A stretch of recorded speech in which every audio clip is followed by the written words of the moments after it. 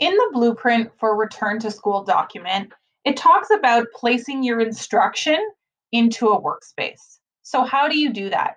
Well, there's a lot of different ways that you can instruct students within a workspace. So, I'm going to show you a few different examples, and depending on the group of students that you're teaching, you'll be able to see some entry points for you. So, the first one is that you can title the columns in your workspace uh, to guide the students. So this would be um, a perfect example for primary students. So an I can, look, and do. Again, keeping the language really simple um, to guide the students as to what's expected of them in the workspace.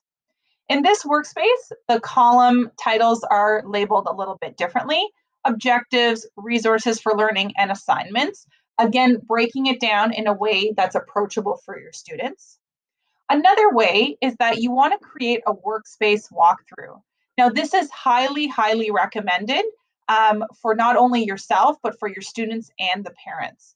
So, what the workspace walkthrough is essentially, it's a screencast video that the teacher has done about the workspace. So, once there's a few things in the workspace, the teacher will screencast and start to explain exactly what the workspace is, what's expected of them, and what uh, they can do first, then next, and after. So, what's helpful about this is one, it gives parents a really great uh, understanding of what's expected so that you're not waiting for the student to explain to the parent what's to be done. Two, if the student needs to um, have exposure to what it is again, they have that video there consistently to refer back to. So, all it is is, like I said, it's a screencast video that's walking through the workspace. And the teacher then has the ability to explain clearly with pictures um, of the exact card you're referring to for the students to have as a resource. So that's another way that you can put the instruction right within the workspace. The last one I'm going to show you um, in terms of just adding some details into a workspace for instruction is adding a header image. So this might be, if it's your first time doing Workspace, I would keep it simple and maybe you don't need to do an image. Maybe you just add it to the title card. But again, you can use header images to guide students where to go. So if you're teaching primary, maybe you want to use numbers one, two, and three. So the students know to go to one, then two, then three. Maybe you want to make sure that you put a picture uh, for our ESL students to help guide them. And then you might want to put the header image as a verb because that will help guide students as to what is expected of them. In terms of demonstrating a concept, one way that you could do it is actually to record a screencast. So this is a tool called Jamboard, which you can find in your Google Drive.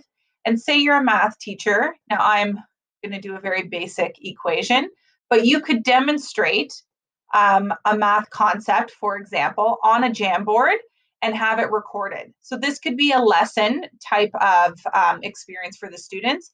And we do encourage you, no matter how awkward it is, for you to put your face uh, in the corner because we know that with distance learning and virtual academy, that connection may be difficult to achieve, especially if we are wearing masks. So again, we encourage you, uh, even if you're making mistakes uh, or you might not feel your best that day, that you try and include um, the box down below because the students can then connect with the teacher during the lesson. So demonstrating a concept is really easy on a Jamboard, and then you as the teacher can record that uh, and then pop that into the workspace as a card. Alternatively, you could also have a whiteboard or a chalkboard uh, behind you or holding it up. You re- could record a video of those types of things as well, um, and then put that back into the workspace.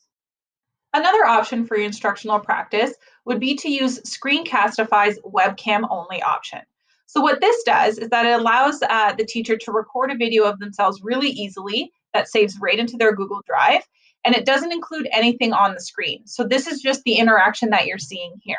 It's really great uh, if a teacher, say, wants to share a personal story and doesn't want distractions on the page and they just want their students to connect with them. Two, it's a really great opportunity. As you can see, you have a little bit of a wider space to work with. So maybe you want to hold up an artifact, maybe um, there's a science experiment that you're doing. This might be a really nice option. You can also use it for lots of different instructional videos. So you can chunk the instructions into short micro learning videos and you could pop all of these onto the workspace. So again, using Screencastify's webcam only option is a great way uh, to change up your instruction with students. Another great strategy for you to place some different types of instruction into a workspace is through YouTube.